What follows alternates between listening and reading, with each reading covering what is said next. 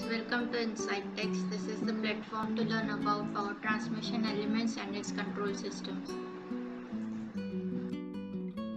So in previous video we have seen about the current transformer and various types of CTs, dead tank and live tank CT and also we have seen its electrical diagram and how the primary and secondary cores are there in the CT.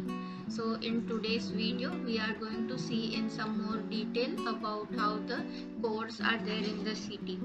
So here the P1 and P2 represents the primary winding or the primary core. And to that we have three different cores as we discussed in the previous video that the secondary winding comes with the three different cores in the current transformer. So here we have a current transformer with two ratios that is 600 or 300 by 111 that means it can transform 600 amperes to 1 ampere and also 300 amperes to 1 1 ampere. So how that is done? So here we have uh, in the last video we already have seen that it has three cores. The first core is called the metering core second is the protection core and the third core is called as the special protection core. So now how these ratios are divided? See if the if we want to use the CT for the ratio of 300 by 1 ampere then we will give connections to 1s1 and 1s2 now we have already discussed about the nomenclature, how it is done. If it is the metering core, that is the core 1. If it is protection core, that is core 2. And the special protection core is the core number 3. Now each core comes with three different terminals S1, S2 and S3. So if we are talking about metering core, then 1S1 represents the first terminal of metering core and 1s2 represents the second terminal of the metering core. If we provide connection between 1s1 and 1s2 then we get the ratio of 300 by 1. Similarly between 2s1 and 2s2 we can get the ratio of 300 by 1 and for 3s1 and 3s2 we get the ratio of 300 by 1.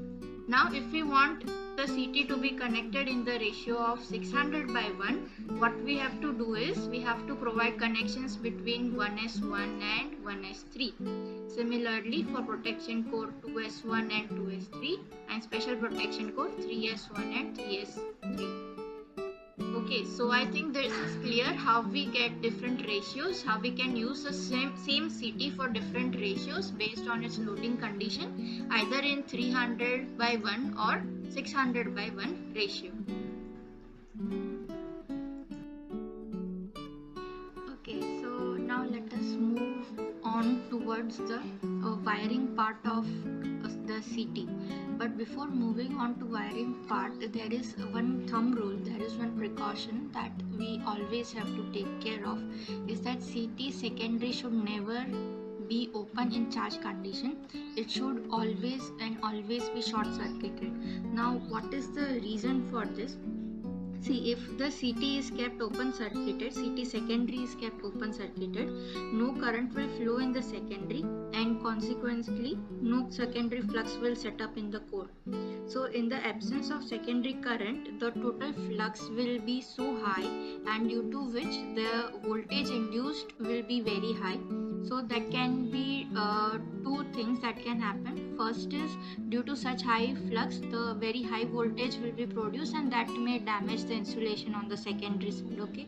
And second thing is most important thing is the person work due to such high voltage the person working on the secondary side of the CT can be caused harm and even the person can experience electric shocks in kilovolts right? So this precaution should always be taken care that CT secondary should never be kept open. It should always and always be short circuited in charge condition.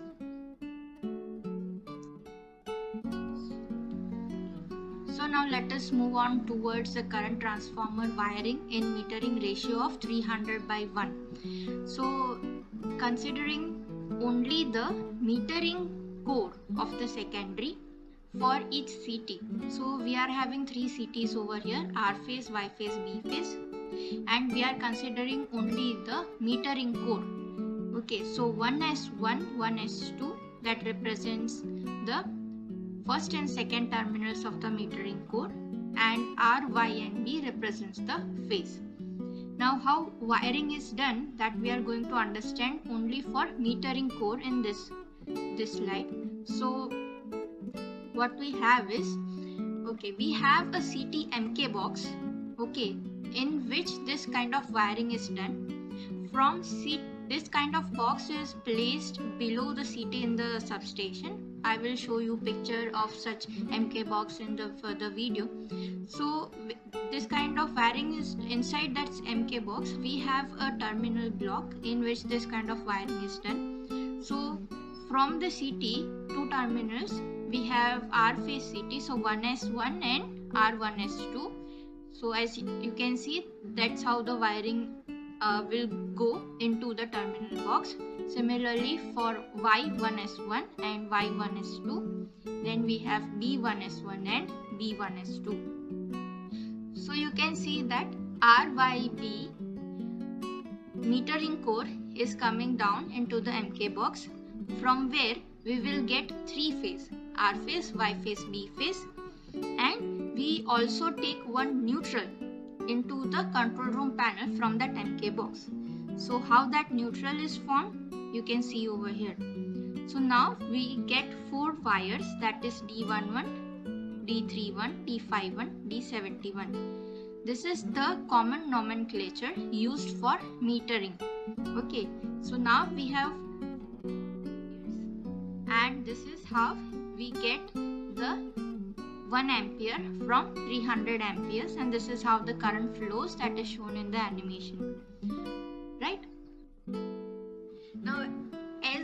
we have seen only metering core of R, Y and B phase. Now let us combine all the three cores.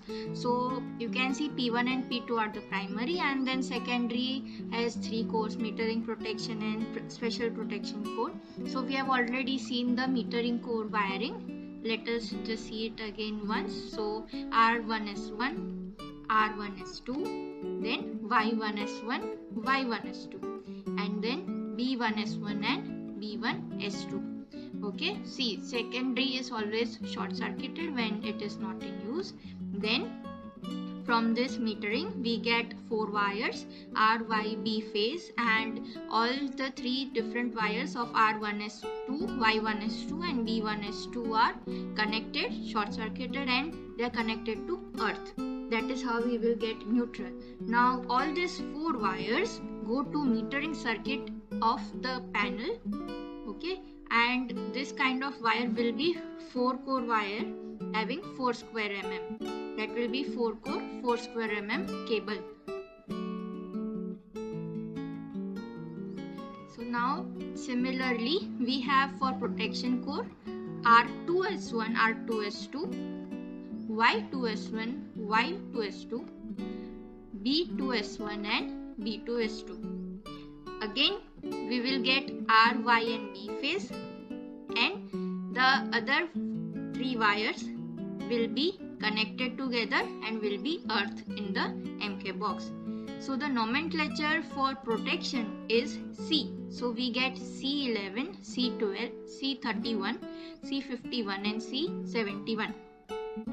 So all these four wires again the cable will be 4 core 4 square mm cable and this 4 core cable will go to the backup protection circuit of the panel. Now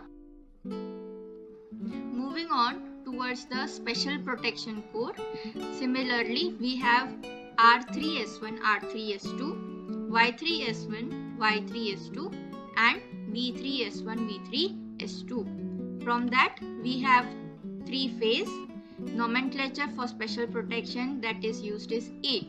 So A11, A31, A51 and again three wires will be connected together and will be earth in the MK box that will give the neutral that is A71. Now this is again a 4 core 4 square mm cable that is generally used in the special protection circuit of the panel in the transformer.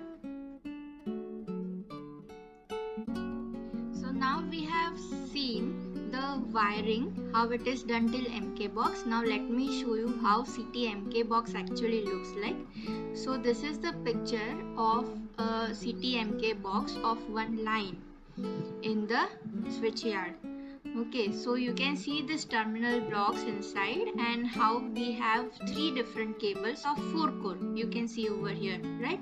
One goes for metering second goes for a backup protection and the third one is a special protection core right that's it for today's video. In the next video, we will continue from how the wiring is done from this MK box to the control panel into the control room and how its wiring is done. Okay. So do watch the next video. Thank you.